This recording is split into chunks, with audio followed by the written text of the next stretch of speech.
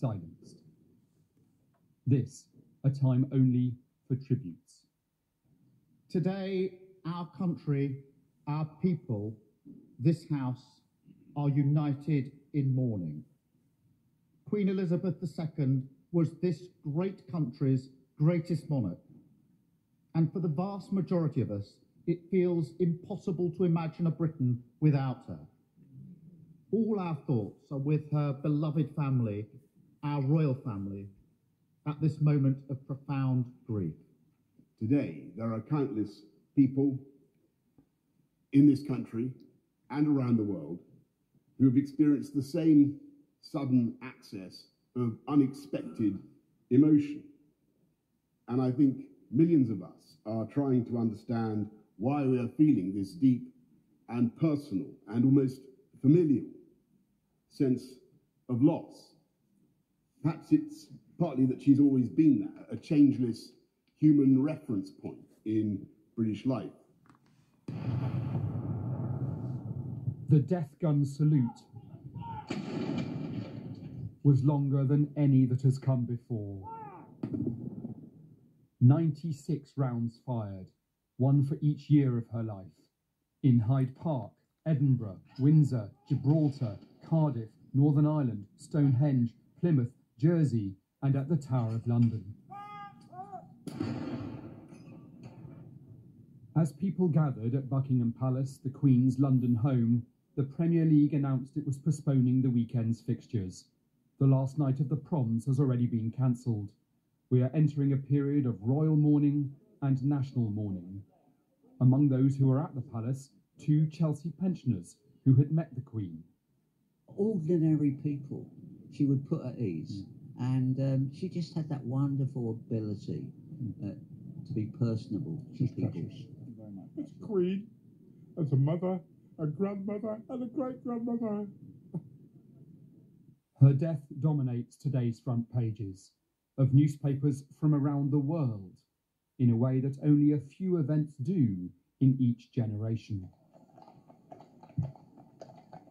The country is now preparing for the formal process of marking the passing of the monarch, the lying in state, the funeral, the end of the era of Queen Elizabeth II. Daniel Sandford, BBC News.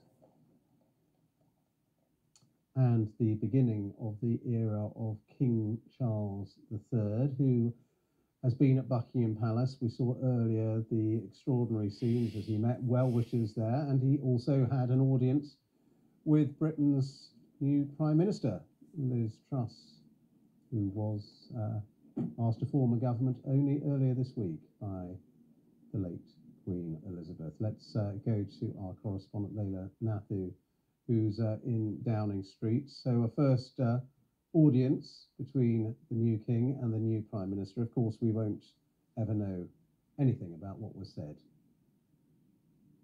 Yeah, certainly a significant event, Ben. The first meeting between our new head of state and our new head of government, both new to their positions this week. These weekly meetings between uh, the monarch and her prime minister have been taking place throughout the Queen's reign, a chance for the monarch and the prime minister to meet in private to discuss government matters in a in a setting that is entirely private.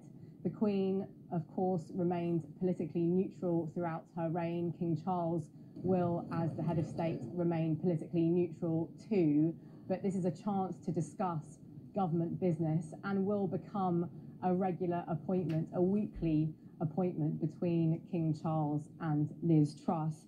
It's worth, I think, noting that in the Commons today, where tributes have been paid to the Queen from MPs across the House, Liz Truss, as Prime Minister, led those tributes. But of course, we have two former Prime Ministers still in the Commons, now on the back benches, Boris Johnson and Theresa May, both paying their own tributes to the Queen and mentioned specifically their memories, their fond memories of their weekly audiences with the Queen. So you could see there, get a sense from Theresa May and Boris Johnson about how much those weekly interactions with the Queen meant to them.